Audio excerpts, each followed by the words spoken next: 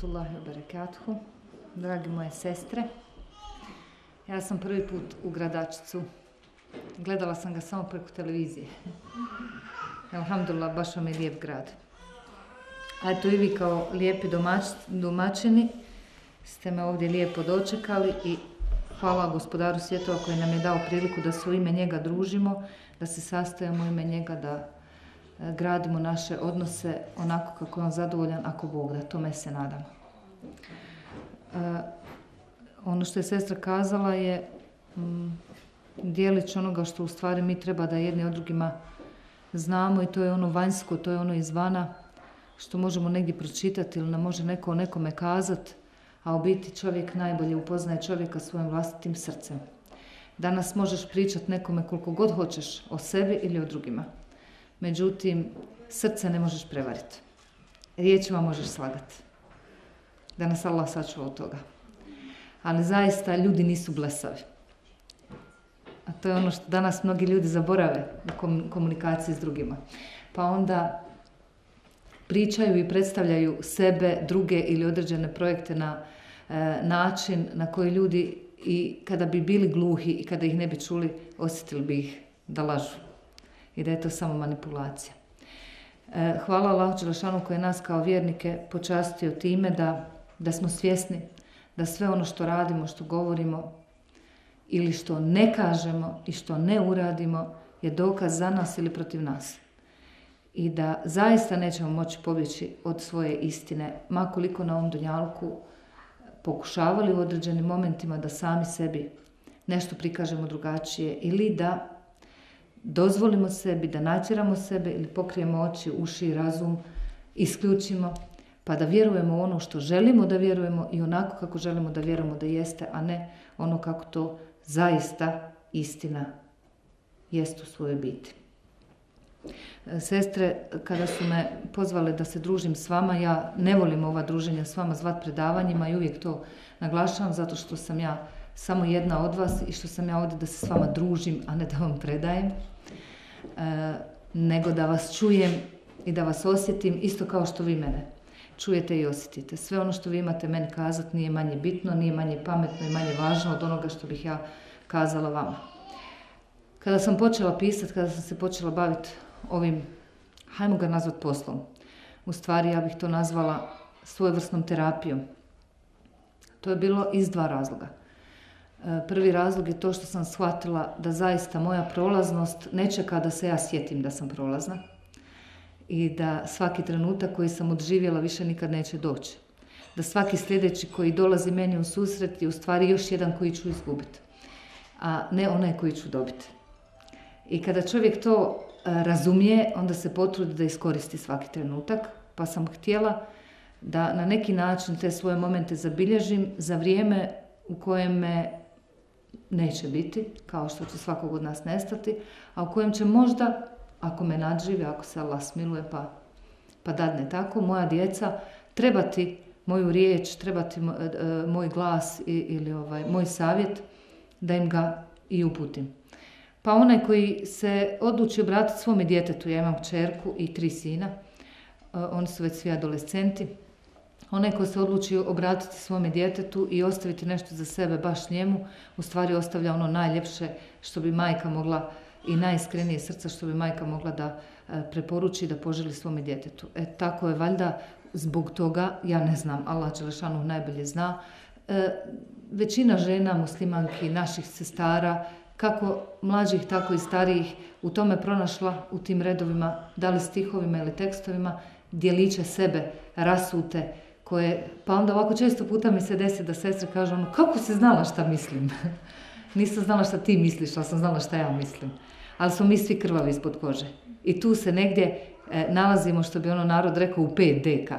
Svi smo mi tu negdje otprilike funkcioniramo na, na isti način. I zato se u stvari naše duše, elhamdulillah ih prepoznaju, kao e, što kaže hadis poslanika Muhammeda sallallahu alaihi ve sellem, duše su postrojena, e, mobilizirana vojska i one se, srodne se međusobno prepoznaju, izbližavaju, a one koje nisu srodne se razilaze.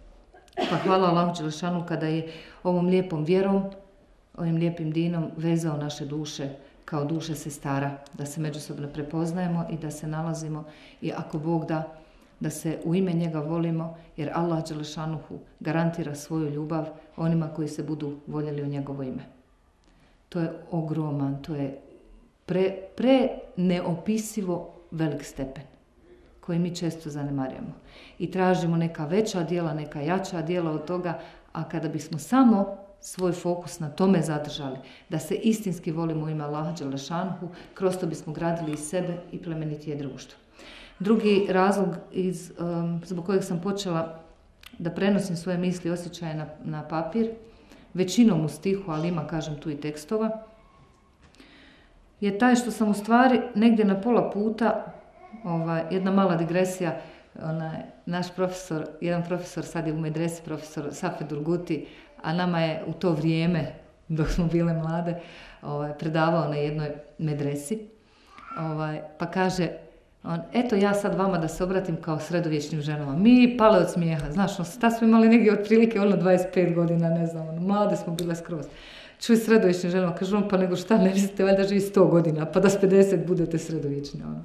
Znaš, vi ste sad tu negdje na pola puta, prosječan životni vijek je negdje oko 60 do 70 godina i kaže tu ste vi negdje, gdje ste tu ste, već ste pola iskoristili, iskonzumirali, znaš. I onda onako malo te to protrese, ali insan je sklon, sklon zaboravu, pa to onda zabaci za leđa i onda opet nastavi dalje, kao da, kao da nekako ne želi čuti tu istinu o sebi, kao da ne želi čuti tu istinu o toj svoje prolaznosti i nada se nečem drugom osim onome što je, onome što je zaista neminovno i što svaki dan gledamo. Ovaj, što kaže jedan od dobrih prethodnika, svaki dan ukopavate svoje mrtve, ali iz toga ne uzimate pouku. Svaki dan ukopate svoje mrtve, iz toga ne uzmete pouku. Ne uzmete pouku da ćete i vi isto tako proći, da će i vas isto neko ostaviti na ono mjesto, vratiti se kući i gledati televiziju jer mora biti u skladu s vremenom, to jest u toku dešavanja svoga vremena.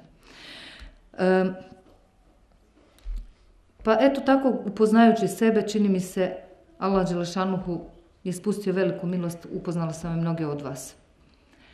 I hvala Allahu Đelešanuhu, kroz vaše živote i kroz vaše priče, imala priliku da vidim još mnogo, mnogo znakova na putu.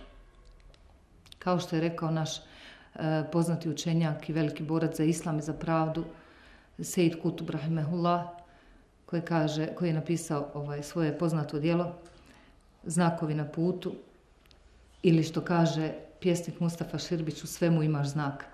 Zaista čovjek koji hoće da vidi u svemu ima znak. Pa to tako i u mnogima od vas ja vidjeh znak. Sestre su predložile da danas pričamo o međuljudskim odnosima u smislu u kojem svako od nas kroz komunikaciju s drugima u stvari, želeći drugima kazati nešto, najviše govori o sebi. Možda je to onako bila dosta znakovita poruka i za mene sam, da kroz ovo sve što sam napisala, pišući možda nekome drugome, sam u stvari najviše kazala samoj sebi. Ili pišući o drugima, najviše sam kazala o samoj sebi. Pa onako bude čitao ili koji je ranije čitao knjiga, ovo je treća knjiga, ovaj, e, može upoznati ovaj, dosta toga što ja možda nisam ni htjela da kažem o sebi direktno, ali sam kroz, kroz svoj rad kazala. Pa eto, bilo mi interesantno nešto što sam pročitala neki dan spremajući jedan od svojih ispita, ovo sad studenti razumiju najbolje o ispitni rokovi, kad pritisnu onda izgledaš ovako kao što ja izgledam danas. Ovaj, ali vi ćete meni halaliti, vi to razumijete. Ovaj, stvarno sam malo, malo preumorna, ali punog srca eto, da se s vama družim u ime gospodara svjetova. pa kaže u, u um, eto sad mi nešto pobježe misao, Elhamduli, on kaže u, svom, u svome dijelu, u komentaru hadisa, buđenje ambicija, na jednom mjestu, i to sam se zapisala, mi se jako svidjelo. Kaže, ko se boji nekog drugog, bježi od njega nekom drugom. Znači, bojiš se jednog insana, bojiš se jednog stvorenja, ili bojiš se nečega, bojiš se bolesti, bježiš doktoru. Bojiš se čovjeka, bježiš drugom čovjeku da te zaštiti. Dijete se boji mame, pa pobigne ono neni. Uhvati se za dimi, obično nene ono čuvaj, ono, ne, ne, nemoj mi dirati dijete i tako dalje. Ovaj, a kaže, onaj ko se boji Allaha, bježi Allahu. To mi se tako urezalo u srce. Zaista je to ogromna poruka. Čovjek koji se boji Allaha Đelešanu, nema drugog utočišta, niti ima kome da pobjegne, osim opet Allahu Đelešanu. Pa poslanik sallallahu alaihi wasallam u svojoj dovi, koju bilježi muslim, e, u svojoj zbirci hadisa kaže utičem se tvome zadovoljstvu tvoje srđbe i tvoje milosti u tvoje kazne. Subhanallah. Utičem se tebi od tebe. La havla la bila.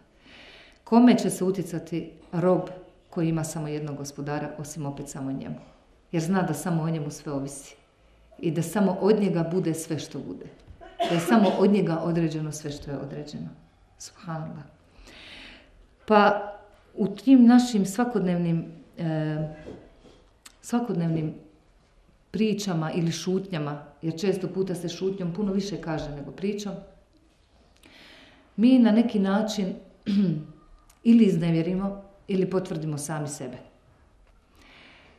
E, ja ću se fokusirati samo na nekoliko aspekata zato što je tema zaista pre, preširoka, a željela, bi, željela bih da čujem i vas, da li kroz određene iskustva koja nam možete kazati ili kroz određena, što kaže sestra, pitanja, određenu sugestiju o čemu da progovorimo ovaj, svi zajedno ovdje danas. E, bitno je, bitno je znat e, jednu stvar, što često puta ovako moj mudri saputnik kroz život kaže, a eto ja sam nekako usvojila kao, kao zaista jednu veliku istinu u životu, međuljudske odnose je lako pokvariti, ali ih ne možeš popraviti. Ne možeš popraviti. Kad jednom pokvariš međuljudske odnose, sve ono što se dalje odvija, uvijek je u sjeni toga što je pokvareno. Ti možeš donekle zagladiti, ti možeš donekle prekričiti. Ko zid jedan kad ga obiješ. Ti možeš kreći preko toga koliko god hoćeš. Možeš ono zaravnavat, gletovat, radiš šta god hoćeš. Ali uvijek se, ako nije da se vidi, onda na prvu, onda kad se bolje zagledaš. Ili ti imaš ovdje negdje u podsvijesti da je tu nekad bila rupa. I ti živiš s tim. I na osnovu toga komuniciraš s drugim ljudima. E, bitan je vanjski aspekt naše, naše komunikacije s drugima, kao i unutarnji. Znači, to su ta dva aspekta. Ono što ispoljavamo prema drugim ljudima, prema svojoj okolini, u stvari, na neki način gradi nas ili ruši nas same. Isto tako i ono što radimo prema sami, sami prema sebi. Ili nas gradi ili nas ruši. Zato je fokus ove lijepe vjere, ovog islama, prvenstveno na tome da čovjek gradi sam sebe. Pogledajte. Kaže poslanik sallallahu alaihi wasallam neće musliman biti istinski mu'min. Imamo različite prijevode u našim dijelima ovog hadisa. Ali ovaj mi se najviše svidio. Nekako mi najdosljedniji. Neće musliman biti istinski mu'min. Sve dok ne bude svome bratu želio ono što želi samome sebi. Da smo samo ovaj jedan hadis što se tiče međuljudskih odnosa usvojili u svom svakodnevnom životu.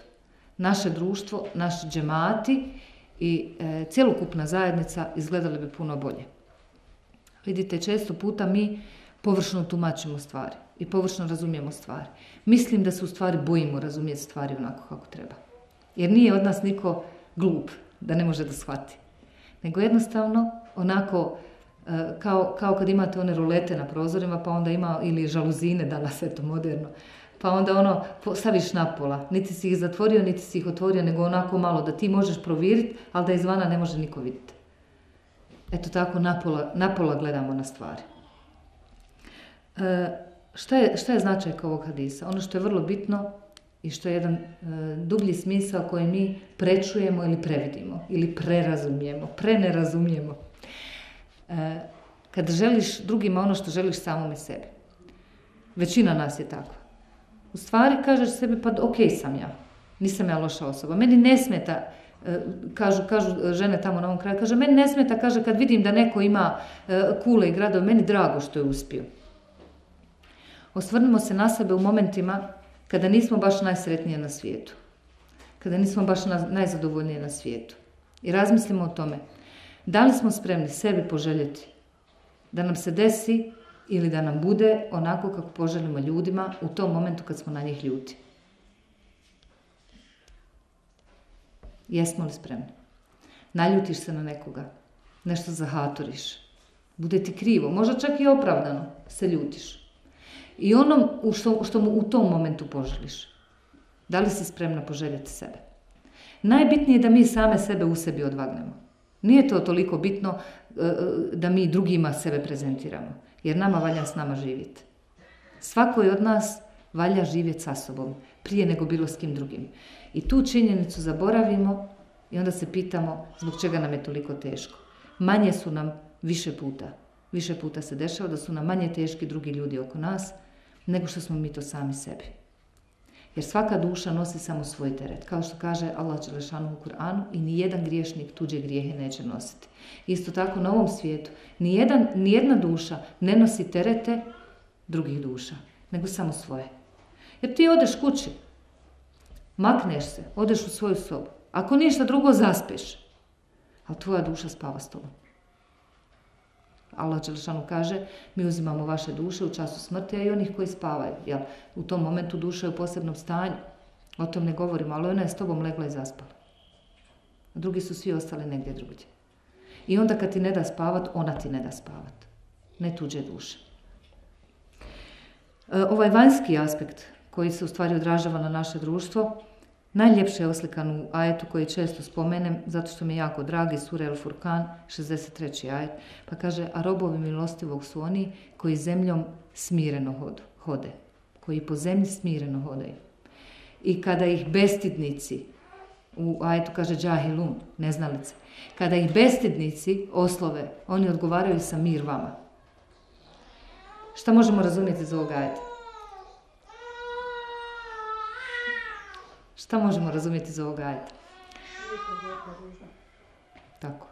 Da će zaista biti onih koji će ljude, vjernike, one koji budu htjeli da robuju milostivom na naj, najispravniji način, susretati oni koji će ih na ružan način e, ovaj, e, spominjati ili uznemiravati ili tako dalje. Znači, bit će tih situacija.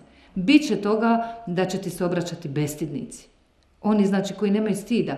A isto tako se kaže u, jednom drugom hadisu, kaže ako nemaš stida, od ranijih naroda je ostalo i došlo do vas, ako nemaš stida, radi šta hoćeš. To ne znači dozvolu da radiš šta hoćeš ako te nije stid. Nego to znači da ako radiš šta hoćeš, da, da nemaš stida.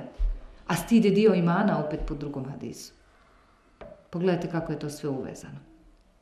Ovaj mir koji robovi milostivi, e, milostivog treba da šire oko sebe kada hodaju kroz Dunjaluk, kada Dunjalukom hode, kada među ljudima se kreću.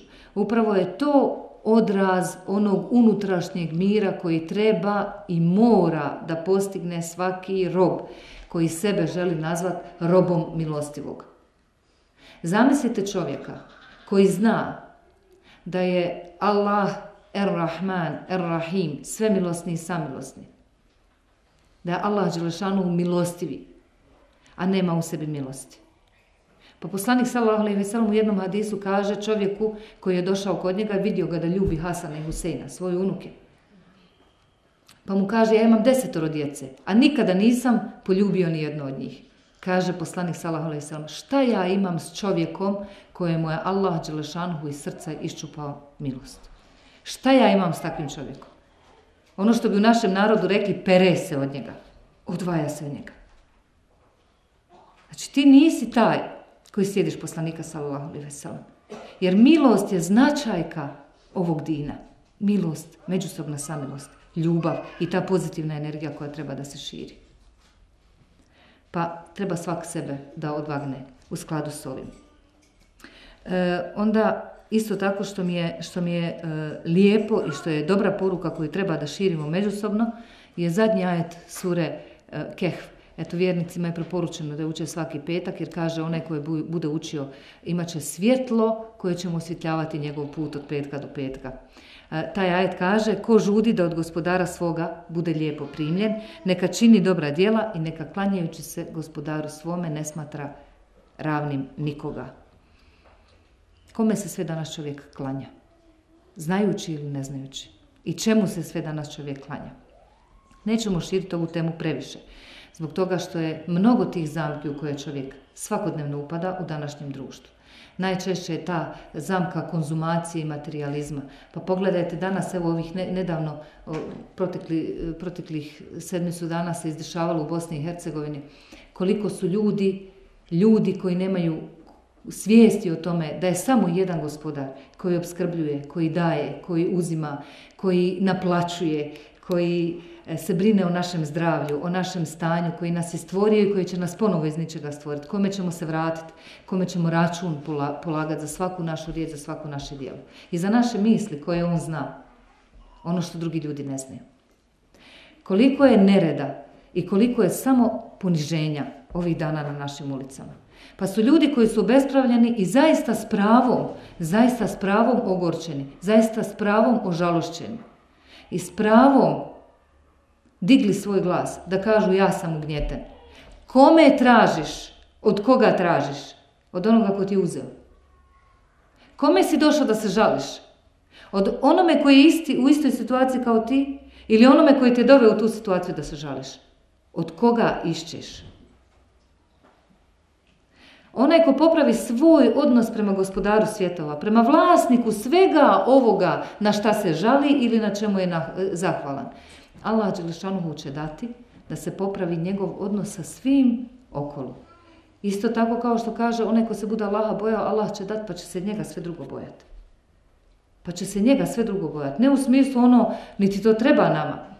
U smislu, oh ja te se sad bojim, vidi tebe, eto te baba roga ide putem, ja te sad sklanjam puta, bježim od tebe da te slučajno ne sretnem. Ne u tom smislu.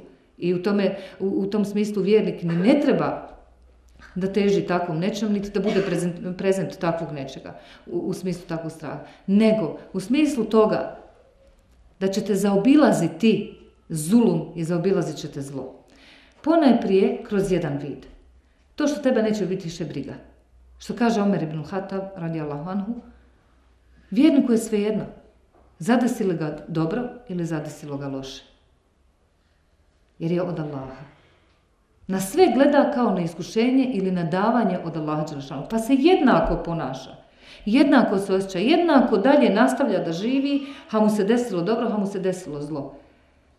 Jer kako god prije toga nije znao da će mu se desiti. Tako ne zna ni šta je poslije toga. Što bi rekao naš narod, niko ne zna šta se iza brda valja. A ko je taj koji je svjestan da je sam on prolazan, a da gleda na sve ostale stvari koje mu se dešavaju ili na ostale ljude oko sebe kao na neke konstante? Zbog čega sebi dozvoljavamo da padnemo u takvu situaciju da ne vidimo, da sve ono što nam se danas desilo već sutra neće biti. Pa sam pročitala isto tako jednu lijepu misao, mislim da ju je kazao uh, mufti Ismail Meng, nisam sigurna, možda nije, možda je Bilal Philips, koji god od njih je da, da ga Allah nagradi, zaista je misao vrijedna, pa kaže, hodaš zemljom danas i gaziš mrave. A sutra te zakopaju u tu zemlju pa ti mravi tebe jedu. Situacija se tako lako i tako za tren promijeni. Ono što je danas, već sutra ne mora biti. Ili može biti, ali u sasvim drugačijoj situaciji i ljudi mogu imati sasvim drugačije uloge. Ko ti garantira? Ko ti garantira bilo šta? Gdje ti je dokaz o tome da je bilo šta sigurno? Nešto izgleda ovako, ali nigdje ne piše da to zaista jeste tako, osim onih istina koje su stanovljene Kur'anom. Ja kaže isto tako, danas od jednog drveta napraviš milion šibica, on je za potpalu vatru. A sutra je samo jedna šibica dovoljno da zapali milion stabala. Danas je ovako, a sutra ko zna kako. Danas sam ja ovdje, a ti sjediš tu. A ko zna kako će biti sutra? Mi to ne znamo. Zato u momentu dok si na nekoj poziciji ili u momentu dok si u nekom blagostanju ili u nekoj ulozi u određenom odnosu, to dobro iskoristi za svoje sutra dobro iskoristi, jer prilika se možda više neće ponoviti. Isto tako kažu ljudi, mudri ljudi, nema toga dijela koji je u islamu. Znači, nema tog dijela, dobrog dijela, koje se smatra premalim ili malim. Jer najmanje dobro djelo u islamu, najmanja lijepa riječ prema drugome, najmanji osmijeh se smatra sadakom, najmanji lijep postupak se smatra ogromnim ogromnom investicijom za tvoje dobro. I niko ne može odvagnuti. To samo Allah Đelešanu zna koliko je to tvoje djelo vrijedno. Samo on ima preciznu vagu za takva djela. Isto tako, nasuprot tome, nema tog lošeg djela, nema tog grijeha, nema te ružne, e, ružnog postupka koji se može smatrati malim. Nema. Tu imamo jednu pomoć. Imamo teubu, imamo pokajanje. Imamo to da, isto kao što kaže, boj se Allaha, poslije e, svakog ružnog dijela učini dobro. Koje će ga pobrisati? Imamo priliku, ako nas Allah poživi iza tog lošeg dijela, da uradimo dobro djelo, koji kojim ćemo neutralizirati ono loše.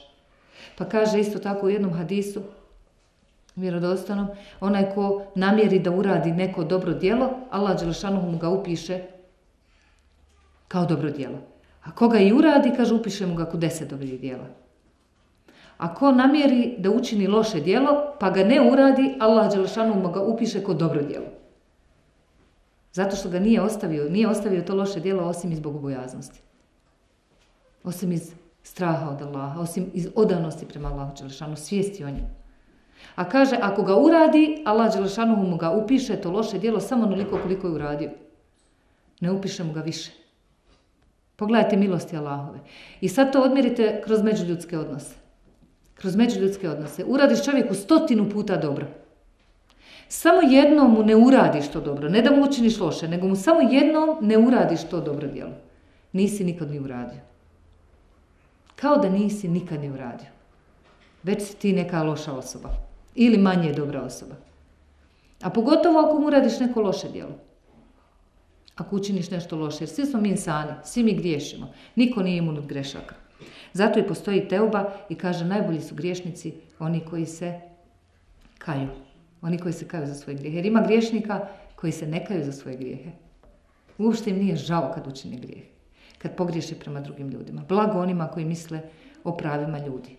Jer to je jedna posebna kategorija u odnosima, međuljudskim odnosima.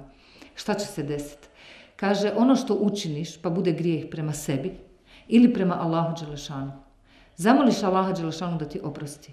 I kaže, zaista ću im opraštati dok god me budu molili da, da im opraštam. Toliko će nam Allah Đelešanu. Kaže, meni neće dosaditi, Allah Đelešanu kaže, dok ne dosadi njima. Da mi traže oprost. Ali ima jedna kategorija grijeha, to su upravo ovi grijesi u međuljudskim odnosima. Ako zakineš čovjeku njegovo pravo, ako se ogriješiš od čovjeka, ti treba prvo prije tog pokajanja ili zajedno s tim pokajanjem da tražiš od tog čovjeka da ti halali. Da mu nadoknadiš štetu ako si mu je učinio. Da tražiš od njega da ti ono sasrca što kaže da mu skineš tegobu. Ili ako si mu uzurpirao nešto od imetka da mu to vratiš ili da mu nadoknadiš štetu onako kako on osjeća da mu je nadoknađena. Šta nam to govori? Da Allah Đelešanuhu ostavlja naša međusobna prava da se mi međusobno, međusobno razračunavamo. Pa hoćemo li to učiniti na ovom svijetu ili na onom svijetu? Već je opet do ove naše svijesti o tome da se postupanja naša međusobna vežu direktno za naš iman. Jer kao što smo kazali, nije istinski mu'min. Znači, musliman nije istinski mu'min. Znači, nije istinski spoznao, nije duboko spoznao i duboko uzvjerovao, istinski uzvjerovao, ispravno uzvjerovao. Onaj koji ne želi drugima ono što želi, znači svome bratu, svoje sestru islamu, ono što želi samome sebi. Pa kaže, doći će na sudnji dan dva čovjeka. I sad zamislite nekoga koji vam je nekad učinio nešto jako ružno. Nekoga na koga ste jako ljuti. Ili osobu za koju ste kazali neću nikad halaliti. Ovo neću nikad oprostiti. Zamislite sad na tren tu osobu i zamislite na tren tu situaciju ili to dijelo koje je učinjeno prema vama taj zulum koji vi smatrate da učini prema vama. Ovo namjerno kažem koji vi smatrate, jer može biti da čovjek to tako doživljava, doživljava, da to uistinu nije tako. Jer mi gledamo iz svoje perspektive. Ne možemo vidjeti iz perspektive onog drugog. Pa kaže, doći će ta dva čovjeka na sudnji dan. I kada bude, kada se bude odvijao obračun, kada Allah Đelešanu bude e, ljudima vagao njihova djela. Dva čovjeka će stajati i međusobno će razračunavati svoje hakove, svoja prava. Pa će, kaže, ovaj jedan Ja sad parafraziram, ne citiram ovaj, ovaj hadis. Pa će kaže ovaj jedan kazat, ja sam, on je meni učinio takvu nepravdu, takvu, takvu, takvu i uzimat će dobra djela od tog svog brata. Uzimat će sve jedno po, jedno dobro djelo od njega i ovaj, prisvajati ga kao svoje dobro djelo. Osim kojeg, ovo je sad digresija, nije vezano u ovom hadisu. Koje djelo neće moći niko nikom uzeti? Post. Jer Allah Đelešanu kaže, post je moj. I ja za njega nagrađujem. Zamislite milosti Allahove. Post je moj. I ja za njega nagrađujem. Subhanallah. Uglavnom, uzimat će dobro po dobro djelo. Dok mu ne uzme sve jedno. Pa će ostati još te nepravde koja mu je bila učinjena. A onda će početi svoje grijehe sa svog samara tovariti na ovog, ovog čovjeka koji mu je učinio nepravdu. Sve jedan po jedan grijeh dok sve ne isprazni. U tom momentu ugledat će tamo u smjeru dženeta jedan prekrasan dvorac. Prekrasno zdanje. Ono nešto što na ovom svijetu mi ugledamo prelijepu građevinu pa se eto ah uzdahnemo, kažemo vidi mašala kako je lijepo, kako je lijepo uređeno. Pregledat će šta mislite te kako je u dženetu. Pogledat će u taj dvorac i zadivit će se i kazat će čije li je ovo. Pa će mu se odgovoriti, kaže, od onoga koji može da plati. A ko je taj? Upitat će, ko može da plati ovako nešto, ko može da kupi ovako nešto. Ko je od nas sad ovdje taj koji ima u džepu dva miliona maraka da ode i da sebi kupi neku vilu? Oko nje bazeni, aman, parkovi, aman, uređeno, sve divno, krasno, vidi dobre stolarije, ne puše kroz nju. Ima klima uređenje, sve živo ima. A zamislite tek u džennetu.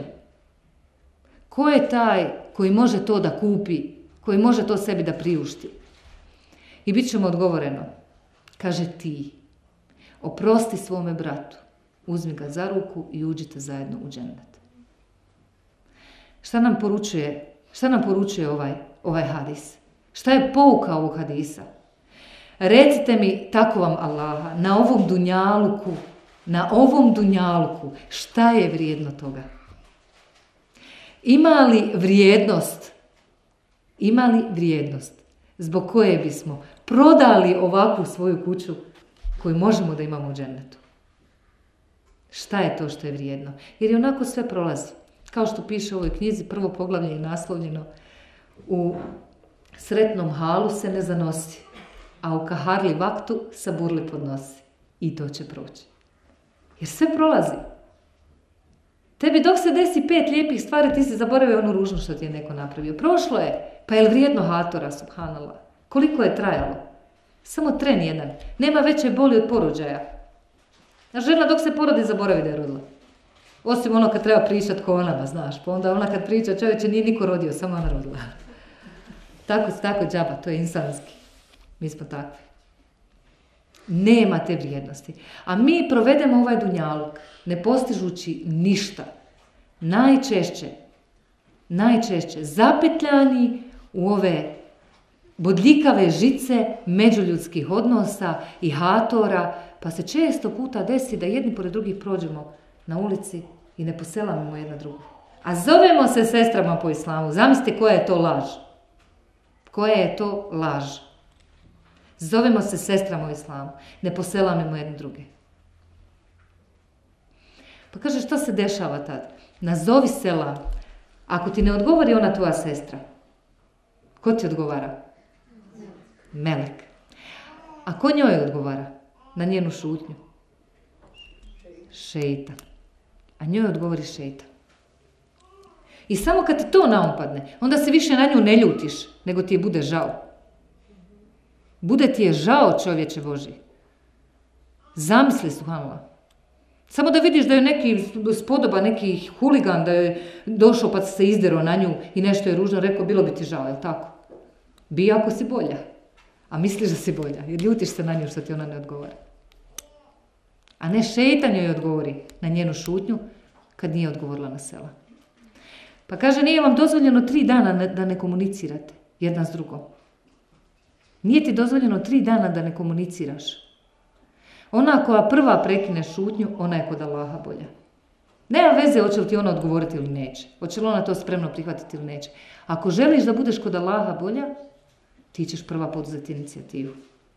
Kaže, od dvojce ljudi vas, braće, sestara, koji se volite, kaže Allah Đelešanuhu više voli onoga koji više voli svoga brata. Allah Đelešanuhu više voli onoga koji više voli svoju sestru. Kad te Allah Đelešanuhu voli, prvo nije ti više briga da li te iko voli. To je prvo. Ti si rahat volan, tebi sve ravno domora.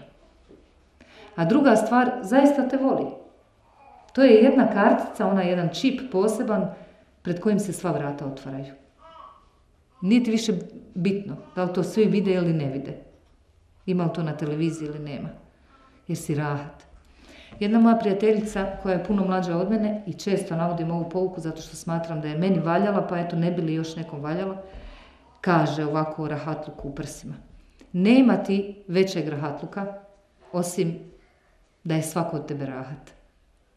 Kad znaš da je od tebe svak rahat, to je najveći rahatluk. I stvarno to jeste tako. To vežemo za ono, sebe nosiš kući. Sebe pospremaš u postelju kad legneš. Sa sobom. Ma od koga pobjegao od sebe ne možeš. I kad znaš da je od tebe svak na dunjaluku rahat, da nisi nikom zakinuo ništa, da nisi nikom učinio zlo, da nisi nikom ni pomislio ni poželio, opet se vežemo za onaj hadis, da želiš drugima što želiš samima sebi, ali da si istovremeno spremna da sebi poželiš sve ono što želiš drugima. Da si toliko očistila svoje srce. To je najveći rahatluk. Ti više nema šta da te opterećuje. Šta će te sikirati? Recesija. Allah Đelšanuhu koji obskrbljuje. Zdravlje. Allah Đelšanuhu je najbolji liječnik. Vidjeli ste kroz ajete kuranske kad Ibrahim a.s. kaže onaj koji me kad se razbolim liječi. Suhanallah. Šta ćete sikirat? Međuljudski odnosi. Kaže Allah Đelešanu kad zavoli nekog groba, naredi Džibrilu, pa stanovnicima nebesa, pa stanovnicima zemlje, da vole tog groba. Ne brinete više ništa. Nema sikiracije.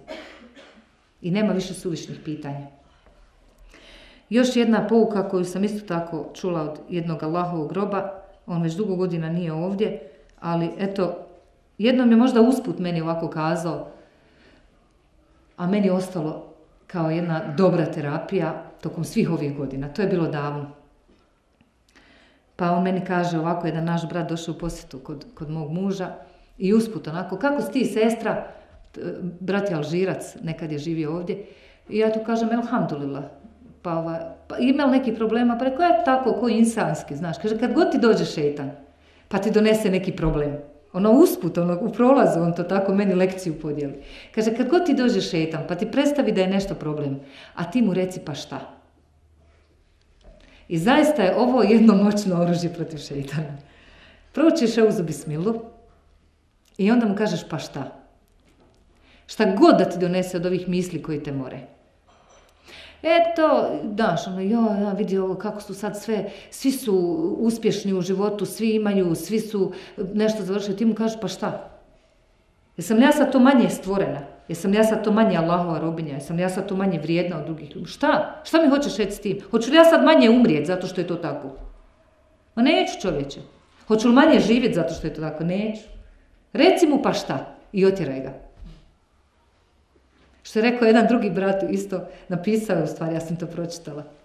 Kaže, ovaj, kad, čist, ono, baš neki primjer, naš svakodnevni. Kaže, uzimaš abdest i onda ti poslije toga dođe šeitan. Pa ti pokušava, znaš, ukrast. On, on jednostavno, njemu je dovoljno malo. Kad ti malo ukrade, njemu je to dosta. Jer malo pomalo nakupi se toga. I sad ovaj, ti uzmeš abdest, a on ti poslije toga dođe ono, e nisi dobro iza lakata upravo pa nisi dobro iza članaka opravo, ma nisi protrljio ruke, nisi izapravo usta, nisi dobro do korijena ko se umio, znaš. Pa kaže, recimo, pa šta onda, ti nisi nikad nikako. znaš, kao šeitano da otiraš od sebe. Mora čovjek znat, drugim riječima kazano, prekinut tok loših misli. Jer te loše misli truju njega. Samog njega truju. A kad otruju njega iznutra, on će sigurno biti taj koji će trovati sve oko sebe. Ko voli luzere? Niko ne voli. Niko ne voli negativice. I onda stalno tražimo razloge zbog čega nas neko ne voli. Zbog tebe te ne voli. A ne, ja sam tako fina, ali eto, ljudi su loši, jesi. Stvarno jesi. Mi samo tražimo izgovore. Ovo ne izuzima situaciju da zaista u životu ima ljudi koji su nepravedni i koji su loši. Imamo i zato recept, u Kur'anu imamo sve odgovore. Allah Đelešanu kaže, a mi vas jedne drugima iskušavamo. Mi vas jedne drugima iskušavamo. Kad šetan pokuša na tu kapiju da te nagovori na loše pa ne uspjet, pa te pokuša da te nagovori na manje je dobro da zapostaviš veće dobro, pa pokuša da te, ovaj, kako bi rekla, da te baci u pesimizam, u depresiju i tako dalje. Da ti uzme volju za, za, za, za dobrim. I uzme dobar osjećaj. I u svemu tome ne uspije. Onda nastupa preko drugih ljudi. Preko postupaka drugih ljudi. I kad ti neko načini nešto loše, gledaj na to tako. Gledaj na to tako. U stvari je on sad u službi šetanovog, nesvjesno. Ne mora znači da on svjesno. Sad je on šetanov vojnik, dobrovoljno pristore, ono, javio se sam kod dobrovoljac. Ne. Nego je on samo insan. I on je samo insan. I on je samo podložan, eto, i dobrim i lošim stvarima i osjećajima u životu. On je tad tvoje iskušenje, kako ćeš ti postupiti prema njemu. Više nije čovjek taj koji je iskušan time, znači taj čovjek, nije više taj koji je bitan u tome svemu. Bitno je to šta je cilj takvog njegovog ponašanja prema tebi. Cilj takvog lošeg ponašanja prema tebi da i ti isto tako budeš loša. Da i ti kažeš, kao što mi običaj imamo bosanske žene da kažemo, nažalost, e neću ni više biti budala. Pa to što smo bile dobre, ja sam to već spominjala više puta, nazovemo same sebi obezredimo i nazovemo sebe budalom. A kad nam neko drugi dođe i kaže, e jesi budala, onda nam krivo. Ona me vrijeđa, eto ona je pametna, eto ona fina, znaš. Krivo nam što nam je rekla ružno, a mi same sebi kažemo, e neću više nija biti budala. I onda prestanemo činiti dobra djela. To je šetanu cilj. Prestanemo opraštati. Allah Đelšanu Kur'anu kaže strpljivo podnositi i praštati, tako treba svaki pametan postupiti. Znači nije taj koji strpljivo podnosi i prašta budala. Nije. Nego je dobar. Strpljiv i pametan. Allah Đelešanu će strpljive bez računa nagraditi, nagraditi džennetom. E, isto, isto jedan hadis koji nam, bi nam isto tako bio sam za sebe dovoljan, a ja mislim da bi svaki hadis sam za sebe bio dovoljan, da se malo namistim. ovaj, kaže, ko vjeruje u Allaha Đelešanuhu i sudnji dan, neka govori dobro ili šuti. E sad, odmah ćemo kod ovog stati. Koliko puta mi dobro razmislimo prije nego što nešto kažemo? Da li će to biti dobro ili loše? Da li će to biti dobro ili loše? Pogotovo kada drugima, znači, e, e, stavimo se u ulogu poštara. Pročitala sam zanimljivo isto tako misao, kaže, jedan, jednom šejhu je došao čovjek i rekao, neko o tebi govori jako ružne stvari. A ovaj šejh mu odgovara, ko pametan i učen čovjek, prepoznao ovaj šetanov prilaz, pa kaže, a šetan nije našao nikakvog drugog poštara osim tebe. Da mi to preneseš. Kakva je korist od toga što govoriš? To su pitanja koja sebi moramo postaviti. Neka govori dobro ili neka šuti. Nemoj misliti o tome da li neko drugi razmišlja o tome da li govori dobro ili da šuti. Šta te briga? Neš ti u njen kabur leći. Niti ćeš njen teret nositi. Niti ćeš s njenom dušom leći. Misli o sebi, o sebi misli. Čovjek može samo na sebe utjecati. Ne može na druge. A time što utječe na sebe, utječe na cijeli svijet. Tako mijenjamo sliku društva. Pa kaže, ova, razmisli da li će biti koristi od toga što ćeš reći, da li ćeš time spriječiti neko zlo i šta u stvari dobivaš ti i onaj kome govoriš. Šta dobivate s tim? Moraš o tome razmišljati. Malo ko od nas razmišlja. Nego ono, nagovorimo se, dobro nagovorimo, onda nam poslije bude žao. Ono, e, da Bog do nisam nagovorila, pa gotovo ti kad si izlaprdala. Ali često puta nama dođe, zaista nam dođe misao. I ono, ah, Bože dragi, vid, joj, šeta me naveo, pa je sad e, iz ogovarah, spominjem je, ovako, onako, gibetim je. I onda nastavi dalje, ono, a šta ćeš, znaš, kad mi je nepravda učinjena, mora malo. Ko bit će ti lakše? Ne možeš postići pravdu nepravdom. Time što ćeš ti činiti nepravdu i time što ćeš ti postupati loše, ne možeš postići dobro. Vatra se ne gasi vatrom. Ne doljeva se benzin na vatru da je ugasiš. Jel tako? Ali mi često puta srđbom, recimo isto tako jedan čovjek je došao, sallallahu alejhi pa ga pitao, kaže, daj mi jedan savjet koji će mi koristiti. On mu je rekao, ne srdi se, ne ljuti se. I pogledajte šetanove spletke. Neko ti načini nešto. I ti sad ono kao više si izrevoltiran, pa sad već ono da se odbraniš i da na kraju krajeva na neki način reagiraš, ljudi reagiraju zato da bi zaustavili to nešto loše prema sebi i zato da bi iskazali svoj osjećaj. Prva stvar, nećeš time zaustaviti, nego ćeš samo proširiti ovaj bojno polje. Druga stvar, e, kome iskazuješ osjećaj? Kome iskazuješ osjećaj ljutnje? One, onome na koga si se, zbog koga si se naljutio. Ko da je njega briga što se ti ljutiš? Pa da ga je briga ne bi te ni naljutio. Ali ti mu sad kao ono nešto iz revolta pokazuješ taj svoj osjećaj. Nema dobra u tome. Srđba ubija onoga koji je nosi. Isto kao i mržnja. Ti u stvari to pokazuješ drugima, a u stvari sebe truješ time. To nije lijek, to je bolest. Koja srđba je opravdana? Jedina srđba koja ti može koristiti. Srđba zbog kršenja Allahovih propisa. Zbog omalovažavanja drugih ljudi i tako dalje. Međutim, onaj ko se srdi radi Allaha Đelešanu, on će dobro paziti na koji način se srdi. I neće prelaziti granice ispoljavanja svoje srđbe. Zato što se on srdi samo radi Allaha Đelešanu. Najljepši primjer, jedan od najljepših primjera je, kaže, kad je Alija radi Allahanu, bili su u bici negdje, ashabi, i kaže, je došao iznad, iznad ovaj, jednog mušrika s kojim se borio, jel, i ovaj se protiv njega borio netom prije, kaže, došao da ga ubije. Zamahnuo sabljom, kaže, ovaj ga u tom momentu pljune. Ovaj mušrik. Ja kaže, Alija spusti sablju. I ode. Nedugo nakon toga, kaže, zaleti se, nađe ga tamo onom opet, znaš, ono se malo fajtel, kaže, i opa, ubi ga. Pa kaže, kako ga ne ubije onda, nego ga ubi sad. E, kaže, da sam ga ubio onda, ubio bi ga radi sebe. A kaže, sad sam ga ubio u ime Allaha Đelešanu. Eto, to je ta razlika. Šta radimo u ime sebe, a šta radimo u ime Allaha Đelešanu. A opet očekujemo od Allaha Đelešanu da pogleda na nas. Kad je ljubav u pitanju, samo ću još ovo kazati pa ću završiti, priznajmo sebe. Da smo mi, ljudi, takva stvorenja koja očekuju da ga drugi vole. Znači ja očekujem da me vole drugi, a ne volim sama sebe. E tako smo, pogotovo mi žene, ženska stvorenja. Mi očekujemo da nas drugi ljudi vole, a ne volimo same sebe. Ne volimo same sebe. Najčešći primjer, eto ovako, ja ću to navesti malo, koliko je on istinit, koliko nije, ali ima tu toga. Pa kažu žene, navode, kaže, eh, da nekom drugom treba, ja bi to dani i dana i čajeve kuhala i mehleme spremala i lijekove kupovala, znaš. Ali eto, meni nekako kad mi je za mene, ja to ništa. Pa molim te, ako ti ne voliš sebe, kako onda kvalitetno možeš voliti nekog drugog? Ovdje ne govorimo o egoizmu, o samoljublju. Ovdje ne govorimo o samoljublju, to su dva različita pojma.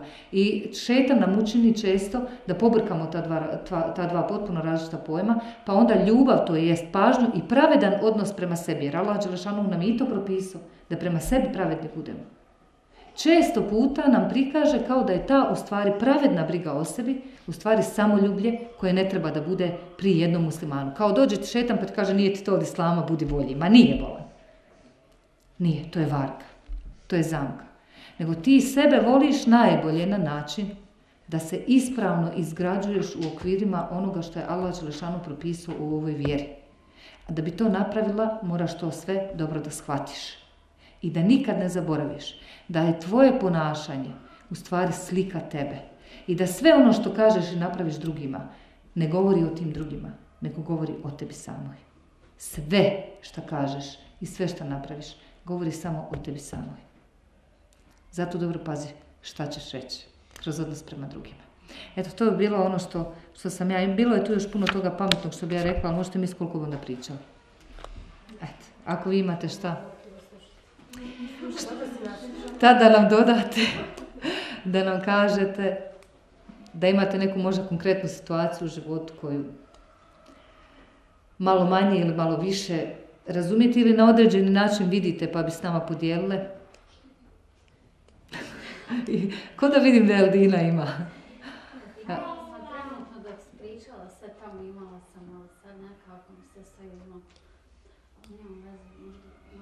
Danas su misli izbjeglice.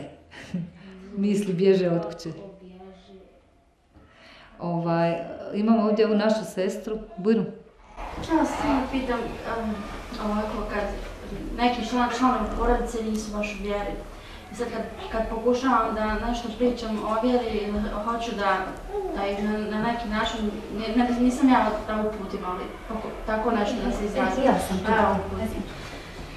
dođe do, do, do, takvih, do takve situacije da dođe da s te strane od te porodice počne da se vrijeđa vjera ili da, da li je to do mene ili da li ja ne predstavljam vjeru kako treba, kako, kako se, kako, jel ja želim da taj, taj član moje porodice se okrene Allahu, ali ne, nekako ne dospijevam do... I kako, i drugo pitanje bilo, nam dvoje djece, jedan mali, jedan razred, i sad ne voli baš ovo vjeri. Jel to do mene, kako, kako se, kako pristupiti djetu? Da, da djete zavoli, da, ono, znam da treba dobiti za djecu, ali šta ja mogu još uraditi kao majka? To je dugo Dok se ti pitaš šta ti možeš uraditi, ti si već uradila vjerovatno. To je, to je tako, znaš, neće se pitati čovjek kojemu nije cilj da radi i da popravlja situaciju. Ima li neko ko bi našoj sestri imao neki savjet reći na ovo? Kaže poslanik Salah najbolji, najbolji čovjekov, najbolji daja, najbolji daja, znači najbolji pozivač u vjeru, najbolji glasnik vjere su čovjekova djela. Ne znam ko bilježi ovaj hadis, ja sam ga pročitala tako da ti ne mogu prenijeti ovaj izvore. Ovaj, molim Allah Đelšanu da nam dadne da, da, da najđemo na to, ali recimo ja se zatim, zatim povodim, ja lično u svom životu, možda neko ima neka, neka druga iskustva. Drugo je ovo, evo što smo, što smo kazali, da je to iskušenje, ljudi su nam iskušenje, da koliko ćeš ti u stvari imati sabore, koliko ćeš biti strpljiva. Neće ti Allah Đelešanu nikad staviti na put ono što ne možeš iznijeti. Nikad. Nikad u životu. To je... On, pa budi uporna, ali pazi ovako. Metoda poslanikovog sallahu sam pozivanja u vjeru. I ono što nam treba, treba da nam bude smjernica, semafor. Kad treba krenuti, kad treba stati, kad treba malo biti ono na tihoj vatri, što ono kažu na žaru, držati nešto. Znaš, baš ko semafor, crveno, žuto, zeleno. Jako dobre knjige su napisane, napisane o tome. Metode e, poslanikove dave. Ali ovaj, recimo da bi ti kad vidiš da neko kaže nemojte vrijeđati njihove bogove, da ne bi i oni e, ne znajući ovaj, Allaha psovali i teške, teške grijehe na sebe tovarili. Znači kad vidiš da neko nije spreman da čuje određeni ajet ili određeni hadis, ti nađi način da u stvari kroz svoje ponašanje ili kroz svoje rezultate u životu budeš ta koja ćeš e, biti razlog da se taj neko upita šta je to što je tebe dovelo do takvog stanja, do, do, do uspjeha, do blagostanja, na kraju krajeva taj mir koji se spominje u ovom eto mene to često, često puta me zaista to, to fascinira, koji zemljom smireno hode. Koji zemljom smireno hode. I evo ti tu odgovor. A kada te bestednici oslave, ti njima odgovoriš selam. Ti u stvari zračiš selam. Ti odašilješ selam. Ti si ta koja si rasadnik mira u svojoj okolini. S tim što ti Allah dao vjeru, te iskušao s tim. Iskušate s tim, da ti budeš ta, znači. Mogla si ti biti ta koja će biti zalutala, pa bi onda ovi bit, e, bili zaduženi da budu oni ti koji će imati s tobom sabure koji će prema tebi širiti taj mir. Tebi je Allah Đelešanu dao energiju vjere. Ne kažem da ih trebaš opravdavati u njihovim grijesima ili sudjelovati u njihovim grijesima, ne daj Bože. Nego na neki način, ono što bi rekli, traži uvijek puteve do njihoveg srca. Šta je u stvari naš zadatak? svih nas, mi smo svi daje, svaki čovjek je daje svojim djelima. Svaki čovjek poziva u ono što sam radi i u onaj način na koji se sam ponaša. Svi mi, svaki insan. Ali ovaj, ono što je bitno, da ljude dovedeš do toga, da sami oni budu ti koji će poželjeti da te upitaju. Da nađeš način, Allahom voljom i dozvolom, da ljudi budu ti koji će vidjeti kod tebe nešto što će poželjeti za sebe da imaju. Kad se u ljudima, evo u djeci, pogotovo u djeci, ovo, ovo kod djece je bitno, bitna stavka, da, da se kod djeteta stvori želja da ono samo istražuje i da ono, samo saznaje. Da ono samo u stvari nauči. Metod koji treba da njih uključi u islamski sistem i način života smo mi stari propustili propustili. Mi im nismo u stvari uopće stvorili mehanizme, niti smo im stvorili uvjete kroz koje će oni biti angažirani na tom polju traženja sebe u islamskom smjeru. Nismo, nažalost. Ali eto. Još isto, meni se tako načalo neke stvari, ružne stvari, sad ne spominjem privatnost. Mm -hmm. E sad, ovaj, ti članovi moje porodice misle da, da, da se to meni sve izašalo zbog moje vjere. Mm -hmm. Kako? Kaže, kaže ona, bila je jedna robinja u vrijeme Ebu Bekra, u vrijeme Ashaba, kaže Ebu, Ebu, Bekrova robinja, ona se zvala Zinira, u stvari dobila je takav nadimak zbog tog događaja.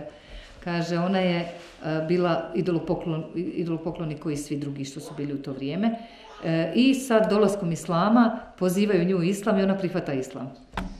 Tad kad je prihvatila islam, ona gubi vid, ostaje slijepa. I šta su kazali ovi, ovi njeni dojučerašnji suvjernici? Kaže, aha, evo je, kaznio je Hubel. Oduzeo je vid. Eto, to ti je zato što se odmetla od bogova svojih predaka. To su je kazali. I ono, znaš, zlurado, jedva dočekali. Međutim, ona je rekla, Allah Đelešanuhu je taj koji mi je dao prvi put vid i Allah Đelešanuhu je taj koji će mi vratiti vid, ako on bude htio. Imala je pouzdanje u Allah Đelešanuhu i bila je uporna u svojoj vjeri. To je bilo jedno iskušenje na njezinom putu, a iskušenja su shodno imanu. Onolika su iskušenja koliki je iman. I treba čovjek u stvari da bude sretan i da bude zahvalan na tim testovima. Dobro dok imamo testove, znači da još studiramo, da nismo izbačeni s fakulteta. Ovaj, I nakon određenog vremena zaista Allah Đelešanhu se smilovao i vratio je vid. Ima uh, ajet u Kur'anu koji kaže, a kada bi vam Allah Đelešanhu vid i sluh oduzeo, koji je to Bog mimo Allaha koji bi vam sluh i vid vratio? Ja sam jedna od tih koji su to iskusili. Ja sam zaista isto izgubila vid bila i ala, nisam potpuno, ali mnog, veliki dio ovaj, vida sam bila izgubila i Allah Đelšanu je taj koji mi je vratio vid. Nije niko drugi. Nema tog doktora koji ti može e, isto tako kao što niko drugi ne može dati život, niko ti drugi ne može dati zdravlje. Ili tu na faku s kojom se rodimo, a zbog koje smo toliko podložni ovaj, e, biti, biti ponizni i biti poslušni ljudima u neposlušnosti Allahu Đelešanu. Često puta. Ovim ne kažem da treba biti buntovan prema ljudima, nego treba tražiti način da se u tom lijepom odnosu prema ljudima u stvari ne pređa ona granica u kojoj je normalno da se lijepo postupa s ljudima. E, normalno je da ćeš ti čovjeku zahvaliti u smislu lijepog odnosa prema njemu. Jer kaže poslanik sallallahu alejhi ve onaj ko nije zahvalan ljudima, nije zahvalan ni Allahu. Jer nije to džabe da Allah Đelešanu učinio baš tebe sebebom da neko od tebe čuje ajet u tvojoj porodici. Onaj ko nije zahvalan ljudima, nije zahvalan ni Allahu, zato što Allah odredio te sebebe, te ljude, da mu donesu neko dobro, da mu učine neko dobro. U tom smislu. Ali ta zahvalnost se normalno razlikuje od zahvalnosti koja pripada samo Allahu Đelešanu, njemu kao, kao jedinom hvali dostojno. Onako kako njemu dolikuje. Budi samo uporna. Znaš šta, to su, to su takvi testovi jer ti se stranca lako prođeš. Kraj njega prođeš kraj ceste i taman da te ne znam koliko uvredi on, hoćeš li ga više sresti ili nećeš. Ali kad to imaš u svojoj porodici, znaj da šetan igra već na polju ovaj, ljudi, ljudskih odnosa prema tebi. Kad to može u stvari da ti bude jedna velika utjeha, jedan veliki bonus. Nije to lijepa situacija. Ali odmah možeš da znaš, aha, znači ovdje na ovim prethodnim stepenicama sam ga prevazišla Allahom voljom i Allahom milošću. Znaš, mogla se biti iskušana u sebi. To je, to je puno teže. To je puno teže. Oni su opet ostaju izvana. I nek ti naupadne ova sestrica naša. Znaš kako je mlada, ali pametna. Najveći ti je rahatluk da je svako od tebe rahat. Nek nisi ti ta koja njima činiš nešto. Uvijek je bolje biti mazlum. Bolje je biti sto puta mazlum nego jednom zulumčar. Mazlumu se dova prima. A zulumčaru, zulumčaru je tama na sudnjem danu, suhano. Zulum je tama na sudnjem danu prema hadisu.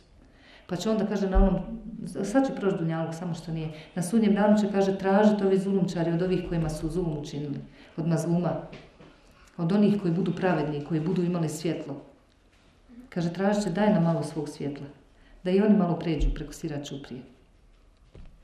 Ali neće moći. Svakom njegovo svjetlo. Sjeti se da će i to proći. Proći će to. Allah Đelšanu taj koji upućuje, a bili su iskušani puno bolje od nas. Pa je to Nuh. Pa, pa mnogi poslanici, Lut a.s. Mnogi su bili iskušani eto i u Evladu. Međutim, mi u stvari treba da radimo na sebi, da budemo zadovoljni s onim što je e, Allah Đelšanu odredio onako kako on odredio. To je njegovo pravo. Da određuje, da upućuje da, da daje bolest ili daje zdravlje i tako dalje. A u hadisi kuciju Allah Đelešanu kaže onaj ko ne bude zadovoljan, koji nije zadovoljan mojom odredbom, neka traže sebi drugog gospodara mimo mene. To je jedan od imanskih šarta. Da sve što se događa biva Božjom voljom i Božjim određenjem. Znači tu je već ono stvar traženja imana. Samo to, sestro, ono što ja mogu lično ovako na, samo to što se ti pitaš o tome svemu je jako lijep znak. Lijep znak. Znači, onaj kome, ko, ko se ne brine u, u, ni o sebi, ni o svojoj vjeri, niti o svojoj porodici, ni o emanetima, uopšte se ne pita takve stvari. Tako da je to, alhamdulillah, dobro. I već naznaka nekada nije do tebe. Znači, pokušaj malo potražiti ove, ove knjige koje govore o davi, o, o prezent, prezentiranju islama, metode dave, metode poslaničke dave. To je jako dobra knjiga. Pokušaj da pronađeš i ovaj, vidjet ćeš koliko su oni imali, pa Nuh ali 950 godina pozivu u vjeru, nekoliko mu se ljudi odazvalo. A rođeni sin nije. To je stvarno, mislim, imamo mi pouku u svemu. Znači, ne mora biti da je do tebe. Nemo, a šetan može da ti prikaže do tebe, ti si tako loša, pa zbog tog ljudi ne prihvataju od tebe islam. To... ti je šetanov prilaz, nemoj misliti tako. To je samo da, da brineš o sebi. Pa dok ti misliš da ne radiš neke stvari kako treba, ako Bog da radiš. Onaj ko ne radi kako treba, ne pita se da li radi kako treba. Tu budi sigurna. Reci mu pa šta. Pa je. Ima li još neko nešto?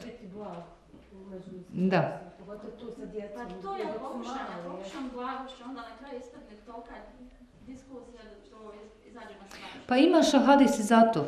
Kloni se rasprave, pa makar bilo je pravo. Opet ti nagrada kuća, kuća u, u lijepom, u jednom dijelu dženeta. Eto. Samo se kloniš rasprave, makar bilo u pravu. Nikad nemoj dozvoliti da pređe granicu. Ono, po, pokušaj, ako ne ide, stani. Ima i drugi dan ako Bog da. Znaš, nadoćete vi svi. Čekaj. Ima li još neko nešto? Da nam kaže ili da... S čim se vi nosite? Mlade sa svekrvama, svekrve sa snahama. ja sam pomiješala dvije pjesme. Ono, ima neka pjesma, ali da o ovom Huseinu. Husi, Gradaščević, jel? Ovaj, ali ja sam nešto bila pobrkala tu da, da se to radi u nekoj svekrvi koja je nešto, ali to je onda poslije smo se sjetili da je Hasan Aginica u pitanju. ali, ali hajde. Rekao, ajde, sad ćemo malo se osvrnuti na tu temu, ali nije gradačac za te teme. Nikako. Ima li još neko nešto da nam kaže lijepo da podsjeti na nešto lijepo, da nam prenese nešto lijepo? Ako nema da se ovaj, razabiremo, pošto naši emaneti čekaju. Hm?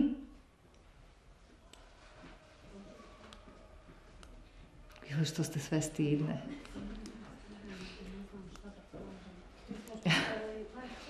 Nama je ovdje, ovaj, došli su isto uz jare sestre iz Tuzle. A jedna od njih je ovdje ovaj moj fenomen medicinski. Ovaj, pa eto tako, često puta smo zajedno, ovako znali smo se zajedno malo i, i obratiti ovaj, sestrama e, na pojedinim druženjima. Ono što je, što je lijepo da je, da je poslije takvih druženja proizašlo dosta hajra Allahom, Đelšanu, milošću i voljom, jer on je taj koji upućuje, zaista nije do čovjeka ništa. I uvijek je onaj koji čini i onaj koji daje, u stvari taj koji dobija. Znaš, viš kako su, i tako često puta mi zamijenimo termine. Često puta u životu smatramo da onaj kome smo nešto dali u stvari nešto dobio. A ti si dobio s time što si dao. Ti si u stvari taj koji si dobitnik. Njega je samo zapalo ono što mu je određeno.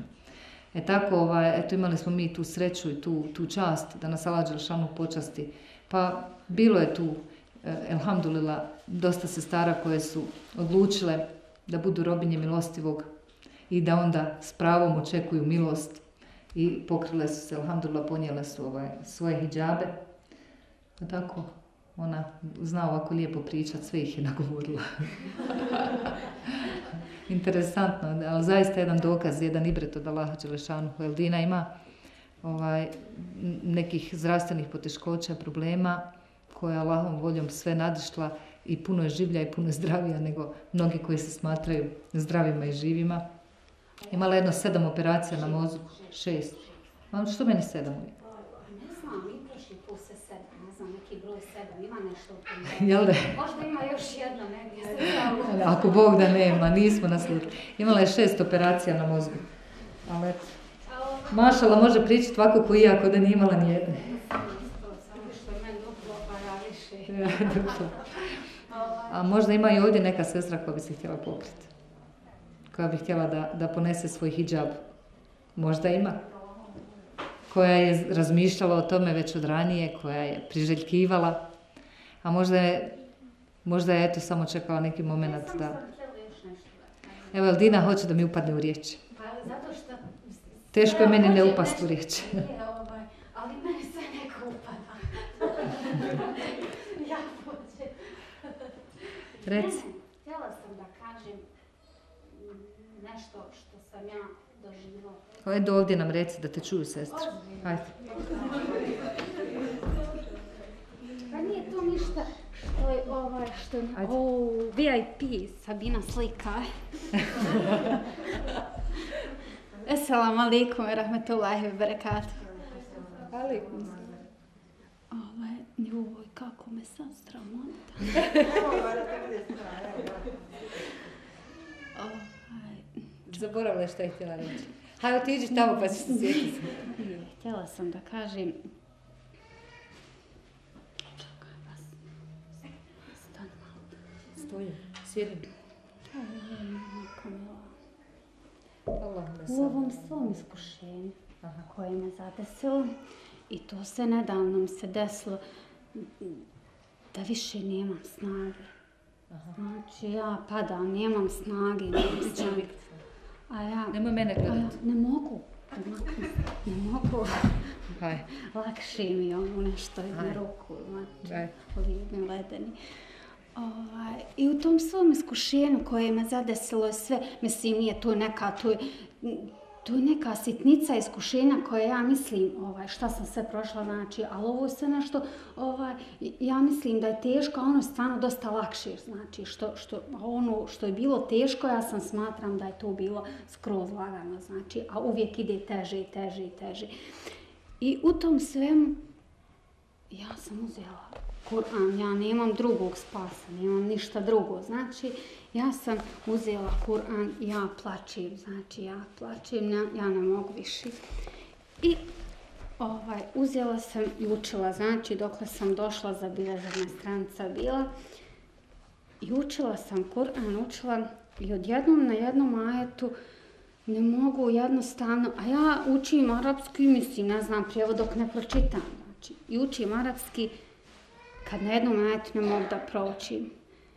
I ja vidim, prijevod kaže, ti izdrži kao što su izdržali odlučni poslanici. Subhanallah, tako mi je bilo lijepo, tako sam osjetila neku ljepotu. Znači, automatski Allah bio uz mene, znači, tu uz mene, sa mnom, znači, tu je, tu je. Pa kad se sjetim samo, pa evo Amara kaže vid, bila, pa meni isto se desilo neke 2000. godine, znači ja se probudila, ne vidim, ne vidim skoro ništa, znači ne vidim, otišla tamo doktor, doktor kažu sasušili se živci neki, nećeš više nikad vidjeti dobro, nema veze, neću vidjeti, hajde vidjet ću nekad. A ti sad duplo. A nema veze, sad duplo vidim, nisam jedno, Šta te briga, sad viš duplo. prvo nisam vidjela, jedno jutro sam se probudila i, i sve vidim, znači ustala sam ujutro, uzela sam teglu, neka je bila tegla ovako, ja sam uzela, ovaj, vidim ona najsitnija slova, evo, evo, ovaj, ja vidim ona najsitnija slova da ovi, ja čitam neko subhanala, ja zovem tamo ovu ženu što sam mislila neki, ovaj, da mi naočare neki sa nekom višom dioptrijom, jer tu uopšte nisam vidjela pisat, čitat, ništa, ništa, znači vidim uljavo sve. Kaže ona, ovaj, nema šanse da se vratila slika, da vidiš. Kaže on, rekao, nemam pojma, rekao, leto, alhamdulillah, meni se vratila. Kako to? Na, rekao, samo, jel može me doktorca primiti na pregled, da me pregleda, kaže, ne može. I nisu mi vjerovali i nisu me htjeli primiti na pregled. Kaže, ti si za Ginsove knjige rekorda. Rekao, piši u šta hoćeš. Neke ja samo vidim, alhamdulillah. Alhamdulillah. I eto tako, ovaj, I čega onda čovjek da se boji? Pa nema se čega bojati, nema čega. Ja sam isto, ovaj, kad je sestra spomenula za to ovaj, eh, Porod. porodcu i to da li ona čini ta, isto sam imala taj jedan, ovaj, da me jedna sestra pitala, ovaj, šta, kako ona da se susretne sa svojima koji nisu u vjeri, koji nisu, ovaj, isto sam joj rekla, znači ti ne možeš njima ništa, znači ništa im ne možeš, ali svoj, znači, svojim primjerom će oni sve ovaj, doći do tog svega. Znači ti moraš sebe mijenjati, a ne druge. Znači i sam sa sobom da raščistiš, pa onda ovaj, Znaš šta je još, ja sam to pokušavala više puta, Ali- opet sam se vraćala na, na, iste, na iste grijehe, da, ih ne zovem. Pa Allah je milostiv, znači Allah oprašta, Allah je milostiv. Pokušavala da se popravim, tako da baš nekim svojim postupcima. Pa dobro, to je dobro, znači svaki put. Pa, naravno, pa nema šta se vraćat na isto, znači tu a- Allah koga uputi, on je upućen, znači nema šanse da ti ne možeš nikome ništa, znači ti njemu možeš pričat, možeš mu ovako, možeš mu onako, ali ti njemu ništa nisi time rekao, znači ništa, nego samo čineći dobra djela ti ćeš biti bolji, znači I znaš šta, budi vesela. Ja ovako, Moraš znači, bit vesela. Moraš se smijat, nauči, e, pa što je poslanik rekao, smijte se, o, Ne, ozbiljno, morate biti veseli. Ma ko bi poželio ovakvu vjeru čovječe? Pa ne, ozbiljno vam kažem. Vi, vi sam je sreća. Islam je radost. Nek se to na vama vidi. Allah Đelšanu voli da se njegove blagodati vide na robu. I, i u, u suri Ved Duha, recimo, onaj, i o blagodati gospodara svoga kazuje. Ma ti kad prođeš grad ovaka, čovječe Boži, ma svi će reći daj i meni to što imaš. Neće, nećeš morati nikom ni nuditi. Svi će čapat čovječe. Trgat će od tebe. To je to, razumiješ? Traže ljudi to. Ljudi to žele. Ali to se mora na nama vidjeti. Ali kad te ono ti stalno, ono, joj, jesam ja nesretna, ne ti, nego kažem mi, općenito. Joj, jesam ja tužna, jesam ja nesretna, jesam, ma ko želi biti luzer, čovječe Boži? Ma, masa je danas muslimana koji izgledaju ko da, da ih je neko puškom natjeru u islam, čovječe. Ma nije.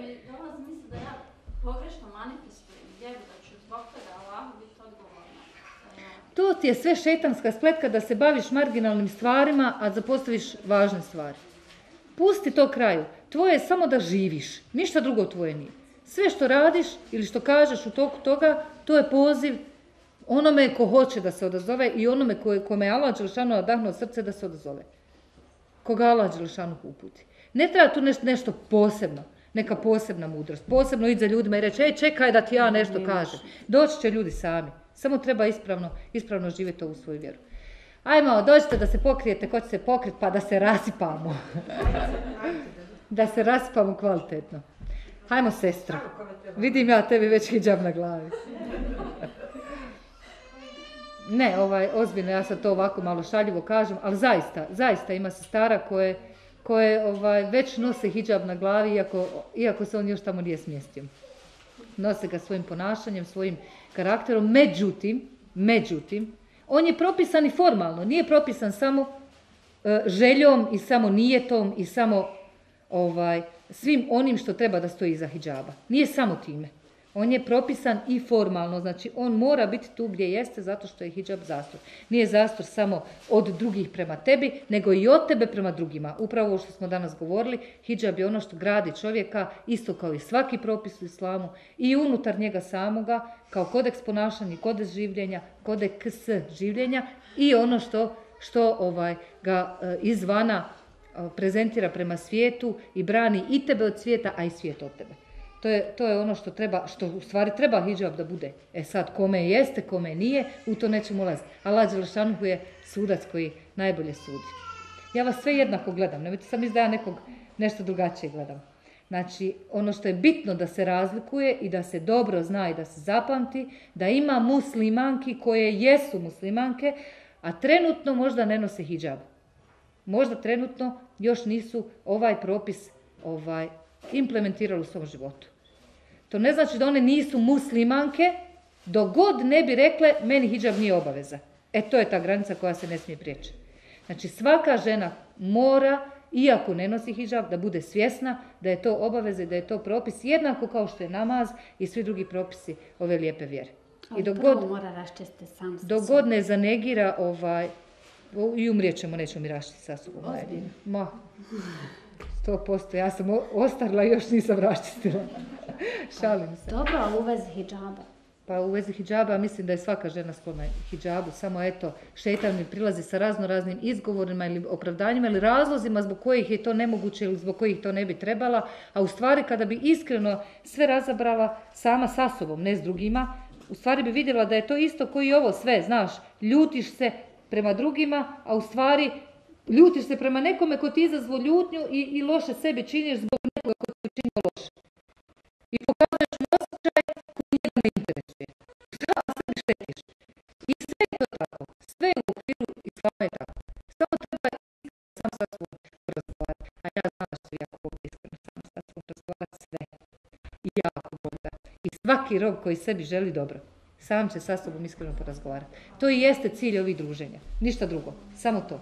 Da, Da jedni druge potakn- potaknemo na razmišljanje i razgovor samih sa sobom. Eto, to je bilo to. Ako nemate ništa drugo više, a bujrom ako imate, u ovoj knjizi, ono kratko ću samo o njoj reći, to je, to je treća moja knjiga, ovaj, ovdje su spomenute, ovo su nabacane stvari. Ovo su nabacane stvari kao što su nabacane čovjekove misli i kao što je inače ljudski život raznolik i ovaj svestran, ima svakakvih strana i svakakvih ovaj, lica nam pokaže naš život, tako i ovdje ima onoga što se tiče mene lično, to jest nas lično, unutar nas sami, pa malo porazgovaramo. Isto i gdje je poezija, ima i tekstova, ima i poezija, ali ono što je poezija nije klasična poezija. Ako je neko od vas čitao već ranije, imao je priliku možda negdje čita na, na internetu ili negdje, to nije ona klasična poezija u to ono, sad ja pričam o tome kako su zvijezde sjajne i drveće zeleno. Nije to to. Nego ovaj razgovor duše sa sobom i tako razmišljanja, previranja i tako dalje. Tu ima toga, ima priča o zabilježenih momenata iz Bosne i Hercegovine, iz proteklog rata koji nas je zadesio, tako isto i širom svijeta danas ono što, što možemo vidjeti da je zadesilo umet, to su neki momenti koji će možda ostati zaboravljeni, a ja sam eto ostala potrebu da ih zabilježim, da ne ostanu ovaj, nezabilježeni. I ima priča o ashabikama našeg vremena, ja sam ih tako nazvala, zato što ovaj, poslanik sallallahu alejhi ve sellem je nas, to jest generacije koje će ga vjerovati slijediti i rekao da jedva čeka da nas vidi. Jedva čekam da vidim e, svoju braću. Pa ashabi upitaše, zar nismo mi tvoja braća? Kaže, vi ste moji ashabi. A braća su mi oni koji me nisu vidjeli, ali će me, ali će me slijediti, vjerovat će u mene. Ovaj, pa eto, ja sam njih nazvala tako zbog toga što njihove životne priče, zato su i zabilježene, sve je istina, znači nema tu ono neke umjetničke e, e, nastojanja da se to nešto uokviri ili uljepša ili okiti, ovaj, nego istina koja svjedoči da se može kad se hoće i onaj koji hoće nađe način, a onaj koji neće nađe sebi vrlo lako izgovor i ovaj, pa eto kome bude želja da pročita, ima tu, ja sam donijela knjiga, ima priliku da, da i pročita. Zanimljive su, jedna od njih je bila diverzant u ratu, a sad je humanitarni radnik. Jes, jes. Jedna od njih je... Niš, jel? Jesi isplakala? Jedna od njih je imala iskušenje u braku, u ljubavi, imala iskušenje s ljubavi, samo sam ih pet zabilježila. Jedna od njih imala iskušenje sa zdravljem e, i ima još uvijek, još uvijek je živa. Jedna od njih je imala iskušenje sa nečim ogromnim i preselila je. E, jedna od njih je e, imala iskušenje sa e, roditeljima, sa rodbinom u roditeljskom domu. Ona je vidjela svoju majku trudnu osam mjeseci kako, kad je imala osam godina. Kako se baca s balkona. Kako se ubila. Znači, to su životne priče žena e, sa, koje opisuju iskušenja kakve smo većina nas prošli ili imamo, pa ne znamo kako da u njima postupimo i da li je to nešto što nas treba unazaditi ili unaprijediti i tako dalje. Eto, ko bude zainteresiran može, može o tome.